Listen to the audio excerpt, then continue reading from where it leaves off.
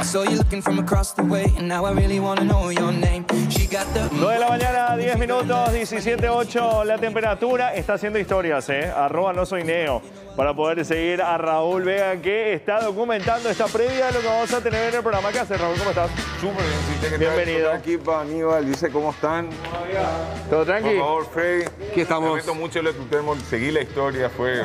Es conmovedor, boludo. Llegaste en el momento más tranquilo del programa. ¿Podés ver? No, es conmovedor. Por algo alguien le pone el nombre a su termo, porque le quiere, porque no quiere que se pierda. Eh, creo que no sé- jugaron mucho con emociones que... que- bueno, es, es el mes de la patria, ¿verdad? Vos entendés, vos entendés. Yo tengo... Trajiste el termo solamente para sí. saber si después voy a recibir improperios tuyos. Después de lo que me hiciste ayer, no pienso traer más mi termo. El termo, No de, el termo de Freddy se llama Marito Marito, ¿por qué? y vive escondido. No.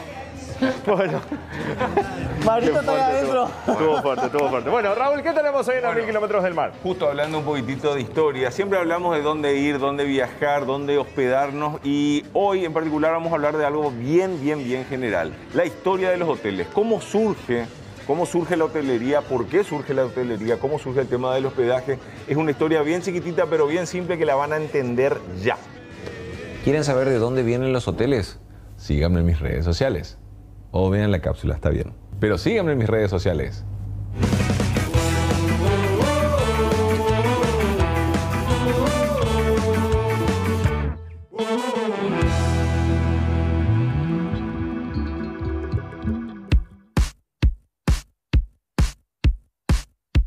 El origen de lo que hoy conocemos como hoteles data de más de 2000 años. En la antigüedad, el servicio de alojamiento era considerado una obligación social. Se acogía a los viajeros de otros lugares que no tenían un espacio seguro donde hospedarse. Durante el Imperio Romano, las posadas estaban designadas para alojar a los altos funcionarios. Durante la Edad Media, a los comerciantes.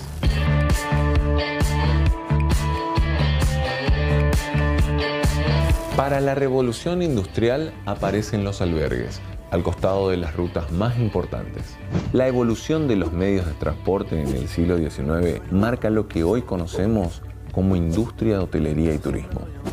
Hoy, Paraguay cuenta con más de mil tipos de alojamiento esperándote. Acordate, viajar dentro del país es hacer crecer Paraguay. Talenta. Ah, las maneras de terminar los bloques son tremendos. ¿eh? Una las piernas, piernas.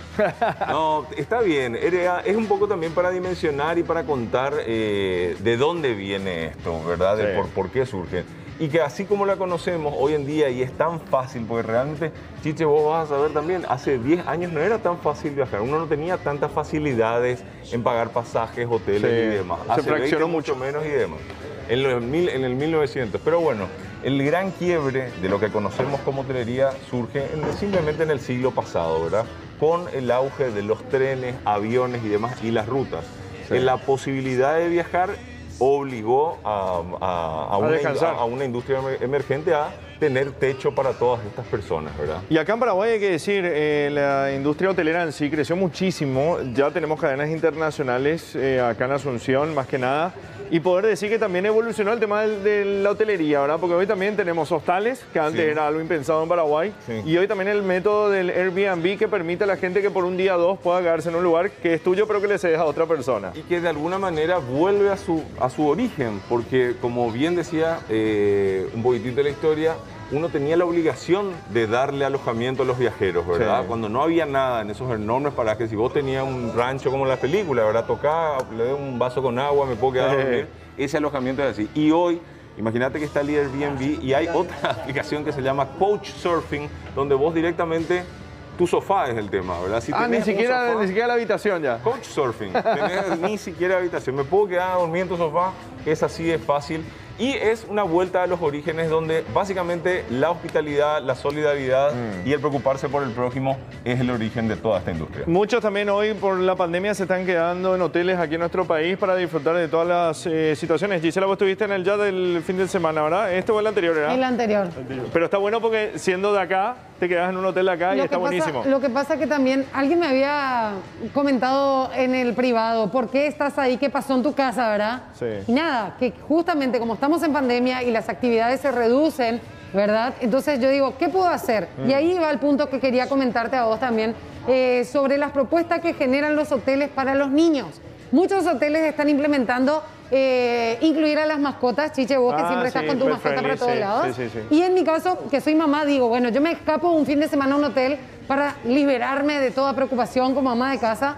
Y ahí es donde digo, ¿qué me ofrece el hotel al que voy para mi hijo? Mm. Porque muchos hoteles tienen así el lujo en gastronomía, el lujo en habitación, el lujo, pero no hay actividad para los chicos. Y la mamá que quiere un relax, cinco minutos de estar tranquila, de qué sé yo. Entonces, si hay un, un contenido, una experiencia para los chiquitos, bomba, ahí voy, me anoto a ese hotel. Es importante y eso, pues hay muchas veces, en otras cápsulas lo hemos visto, los hoteles que se declaran pet friendly, Sí, ¿verdad? sí, sí. Que realmente vos sos, vos sos, eh, A mí me encanta. O sea, yo hoy sí tengo que ir a un hotel que incluya mascota. Acabo sí. de venir y está en mis historias como arroba no soy neo y hay algunas cosas en a mil kilómetros del mar también, de la zona de Misiones, ¿verdad? Ajá. Fuimos a grabar a San Ignacio, a Santa María de Fe y un montón de lugares increíbles. Y es muy genial ver cómo los, los hoteles de, de cada región se han adaptado a esto, Sí. ¿verdad? Y tienen espacio para criaturas, tienen... la- la- se- se ha revitalizado la cancha de pádel, ¿verdad? Se han ahora. las canchas de Acá tenemos un jugador nato de pádel. Entonces tenés de alguna manera la- el, el espacio para los chicos, el espacio para vos y fundamental, ¿verdad? El hecho de que a vos te pidan encierro, de que te quedes encerrado, no necesariamente quiere que Encerrado te en quedes mi casa. en tu casa, ¿verdad? hotel. Es saludable para la, fa- para la pareja, es saludable Sí. para la familia, es saludable para los niños, sacarlos y llevarlos a espacios Sí. con toda la seguridad y, bueno, por supuesto, seguir colaborando con la industria hotelera paraguaya. Tal cual, en el interior hay muy buenos lugares. Eh, Edwin, vos estuviste hace poco, ¿verdad? Sí, Eh, estuve en tus el historias. fin, el fin de ¿Dónde semana fue eso? por el Alto Paraná. estuve Alto Paraná. por- sí, Hernandarias, Ciudad del Este, Presidente Franco. Hay ¿Y lugares muy buenos para quedarse. Sí, ¿eh? sí, sí, sí, sí. De paso, mi primera experiencia por eh, Itaipú y Nacional. Ah, mira. Sí, pegué el recorrido y está, está genial. Está genial. Todo dentro de los protocolos también. Claro, para cuidarnos al fin y al cabo. Bueno, ahí está, un capítulo más de A Mil Kilómetros del Mar. ¿Qué días, eh, horarios tenemos disponibles? En el SNT 1350, 1750 y 0 horas. Y recuerden también chequear los horarios en Paravisión y en Sur TV. Eh, a toda la gente que está en, ah, en Concepción. Ahí está. Nos vemos este fin de semana en Concepción. Ah, bueno, muy bien, ahí va a estar grabando. Bueno, eh, está saliendo el plato. Vamos todos ya a la cocina Ya ya para ir cerrando. Justamente le está dando el toque final. ¿Quién es el que hoy...